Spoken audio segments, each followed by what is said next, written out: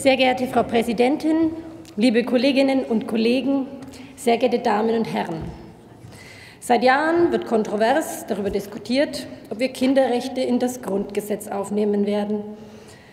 Das 25-jährige Jubiläum der UN-Kinderrechtskonvention bietet nun einmal mehr Gelegenheit, darüber zu diskutieren und Anlass für die Anträge der Opposition. Was da beantragt wird, hört sich zunächst mal gut an. Kinderrechte im Grundgesetz, was, die stehen da noch nicht drin, das kann doch nicht sein.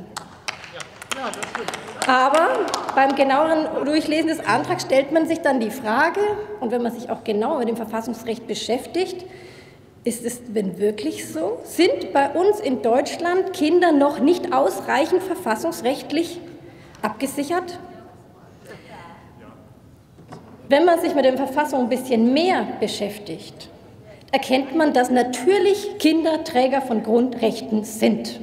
Das wird hier immer nicht oft genug betont, aber es ist so. Sie sind Träger des Grundrechts auf Menschenwürde, Artikel 1 Grundgesetz. Sie sind Träger des Grundrechts auf Leben und Gesundheit, Artikel 2 1 Grundgesetz. Relevant, wenn Kinder zu Hause verletzt werden. Sie sind Träger des allgemeinen Persönlichkeitsrechts, immer wieder angeführt. Sie sind auch inzwischen nach geänderter Rechtsprechung des Bundesverfassungsgerichts sogar Träger des Rechts auf Pflege und Erziehung durch die Eltern aus 6.2 Grundgesetz. Das heißt, die Rechtsprechung hat da sehr viel schon entwickelt. Es gibt sehr viel Kinder sind Menschen und die haben dieselben Grundrechte wie Menschen. Ja, nein, weil sie so tun, als wären Kinder bei uns in der Verfassung nicht ausreichend geschützt. Das ist es eben nicht.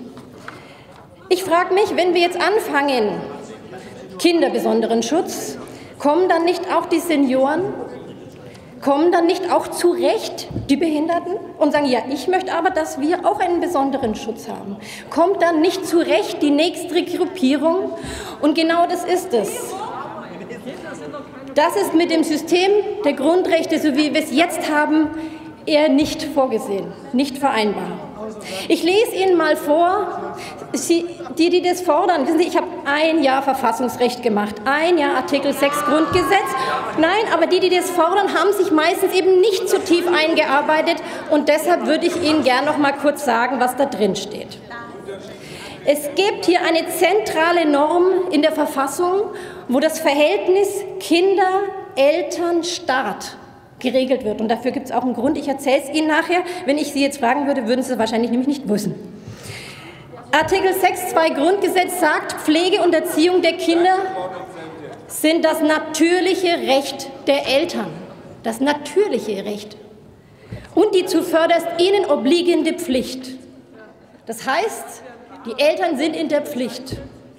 Das heißt, es ist nicht nur einseitig das Recht der Eltern, es ist ein dienendes Recht im Interesse des Kindes.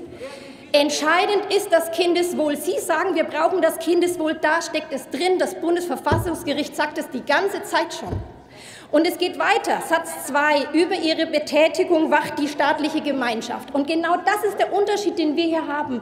Wir haben eine Kontrolle durch den Staat, ein natürliches Recht der Eltern und Pflicht die Interessen der Kinder wahrzunehmen, aber einen Staat, der nur wacht, der aber nicht von vornherein bestimmt, was das Kindesinteresse ist. Er darf eingreifen.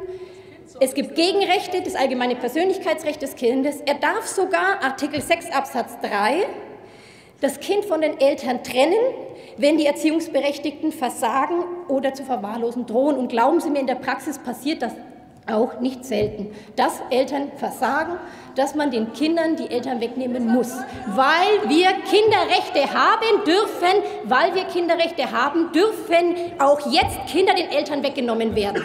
Wir haben ein ausdifferenziertes System, das funktioniert. Sie wollen mir doch nicht im Ernst sagen, dass die Kinder bei uns so schrecklich alle leiden. Der Rechtsprechung gelingt es hier einen angemessenen Ausgleich.